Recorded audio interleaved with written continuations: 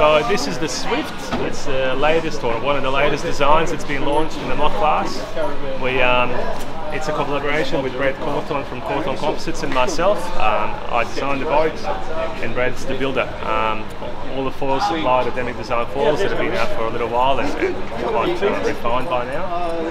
And the platform is really um, designed to be the fastest out there. That's been the primary goal objective. We haven't um, tried to make it the cheapest or, you know, we just wanted the best solutions we could come up with to increase the performance of the boat. And part of that has been um, main focus on increasing uh, the aero, which is I think huge. So as you can see, there's quite a few fairings that cover critical parts of the boats, like ropes. All these clip off for the rigging uh, if you want to, and then sort of press back down again. It just means all that is um, covered. Um, we've got a removable foredeck, so this entire foredeck actually removes with four bolts, and all the take-ups live underneath the foredeck so that we could have a long run of shock cords up and down the boat. So things like this, you know, they just disappear um, under the foredeck. You can take the foredeck off for excess if you need to repair everything. Um, but the idea is that you know you leave it on if the boat's set up. You don't need to take that off. You can get access to your control lines and through this cover. So if you want to put the pin in and get sailing, this cover is the only thing that needs to come off. Um, we also wanted to have one part act as a deck sweeper for the sail, so you're not building a foredeck and then another part that has to live on the boat. So we were quite um, keen on making sure that we get a proper end plate effect with the sail that's there up and down winds. So sails lift, you know, lift quite low um, and we get a complete seal on the deck.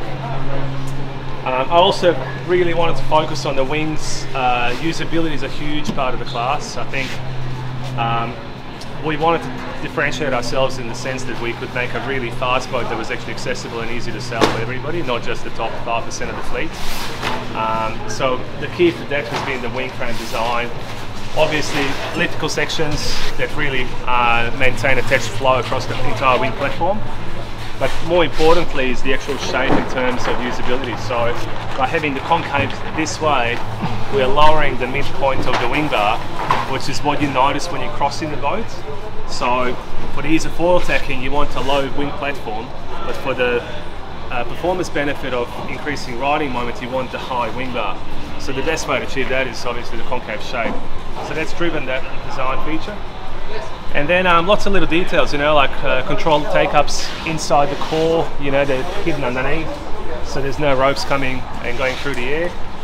The gantry design has been quite a challenge. We really wanted to reduce the volume at takeoff, so it's heavily scalloped on the underside to uh, reduce the amount of water because uh, they're not supposed to be a buoyant structure under the rules, so everybody carries X amount of water in the gantry. If we can carry 5 litres rather than 15, it just means that we're a little bit lower at takeoff and we're not carrying the drag at the back of the boats.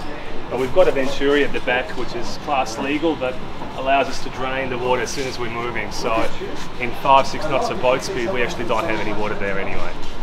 Um, the hull shape has been primarily designed for aero benefits.